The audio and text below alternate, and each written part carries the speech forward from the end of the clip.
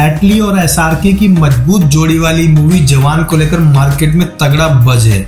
US के कुछ theatre में तो एडवांस बुकिंग की विंडो ऑलरेडी ओपन हो चुकी है और कहा जा रहा है भारी भरकम बुकिंग हो रही है। मूवी को ओवरसीज में रिलीज़ करने की ज़िम्मेदारी यशराज ने उठाई है। यशराज का जो बाहर का डिस्ट्रीब्यूटर सिंडिकेट है, बहुत ही स्ट्रॉन्ग है। और कहा जा रहा है अमेरिका में से करीब टेन थाउज़ेंड स्क्रीन में रिलीज़ किया जाएगा। हो सकता है ये नंबर वन थाउज़ेंड का हो, फिर भी डाउट की बात है। बहरहाल मूवी की रिलीज़ डेट और लीक को लेकर काफ़ी सारी कंट्रोवर्सी चल रही है और हाई कोर्ट में मामला ऑलरेडी पेंडिंग है, क्योंकि इसके जो भी क्लिप या वायरल लीक होते हैं, उसको लेकर कोर्ट ने बहुत सख्त चेतावनी दी है और सोशल मीडिया प्लेटफॉर्म को मना किया अपलोड करने से। लेकिन उनकी खुद की टीम बहुत ज़्यादा लीकेज कर रही है और कहा जा रहा है जवान की खुद की पीआर टीम ने मूवी के सारे गानों का ट्रैक पूरी तरीके से लीक कर दिया है। जैसे कि रिपोर्ट्स आई है, कहा जा रहा है जवान में कुल छह गाने होने वाले हैं पहले नंबर पर आएगा जवान का थीम टाइटल ट्रैक नंबर दो पर आएगा ज़िंदा बंदा, जिसके ऑलरेडी वीडियो आ चुके हैं, बहुत ही मिक्स रिस्पॉन्स मिला है। नंबर थ्री पर आएगा नयन तारा का इंट्रोडक्शन सॉन्ग जो कि मूवी के अंदर ही प्ले होगा, शायद बाहर इसकी प्रमोशन न की जाए।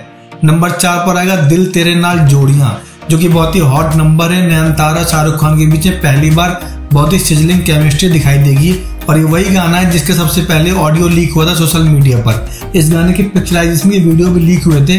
जहाँ पर मुंबई की डिफरेंट लोकेशन पर फिल्माया गया गाना था और गेटवे ऑफ़ इंडिया के सामने अरब सागर में जो फेरी थी, उसकी छत पर शाहरुख और नयनतारा डांस कर रहे थे। फराह खान उस गाने को कोरियोग्राफ कर रही थी। अब इसी गाने को अगले नंबर पर रिलीज़ किया जाएगा या पार्ट ऑफ़ पब्लिसिटी इसके बाद आएगा शाहरुख खान दीपिका गाना, जो कि ओल्ड शाहरुख खान और दीपिका के बीच में पिक्चराइज किया जाएगा। वो भी बहुत कॉस्टली सॉन्ग बताया जा रहा है। इसके बाद लास्ट बट नॉट लिस्ट में आता रमैया वस्तावैया का रीमेक वर्जन जो कि मूवी के एंड में पूरी मेडली सॉन्ग के साथ आएगा और पूरी मूवी के थीम को जस्टिफाई करेगा। बहरहाल इस पूरी म्यूज़िक प्लेलिस्ट में कहीं भी लीकेज की बात का पता नहीं चल रहा है और मेकर चाहकर भी केस नहीं कर सकते बिकॉज़ जो भी गाने हैं, वो ऑलरेडी पब्लिक के बीच में आ चुके हैं। विद बोल विद वर्डिंग तो अब शाहरुख खान नयन तारा की जोड़ी को लेकर जो भी एक्साइटमेंट का फीवर है, वो तो बना हुआ है। बिकॉज़ ये पेयरिंग पहली बार बड़ी स्क्रीन पर दिखाई देगी और नयन तारा वैसी एक्ट्रेस हैं जो बहुत ही लीड रोल स्ट्रॉन्ग वे में करती हैं। आपको नहीं पता होगा, लेकिन शाहरुख खान ने ऑलरेडी नयन तारा को अपनी मूवी चेन्नई एक्सप्रेस में वन टू थ्री फोर गाने के लिए अप्रोच किया था। लेकिन नयन तारा ने एस को मना कर दिया था बिकॉज़ वो अपनी इमेज में इस तरह के हल्के बुल्के रोल नहीं करना चाहती। साउथ में उनको लेडी सुपरस्टार कहा जाता है। उनकी फ़िल्मों में उनके नाम एक्टर से पहले क्रेडिट किए जाते हैं। ऐसे में शाहरुख खान ने उनकी अहमियत समझी और जब राइट टाइम आया जवान का, तब उनको लीड रोल के लिए अप्रोच किया।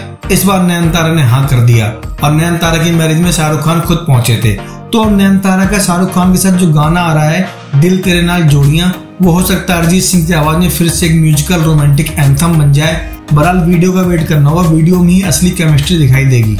सो फ्रेंड ऐसी एक्साइटिंग ऑसम और एंटरटेनिंग कंटेंट के लिए please hit the subscription and bell icon button of Movie Fox and don't forget to like comment and share our videos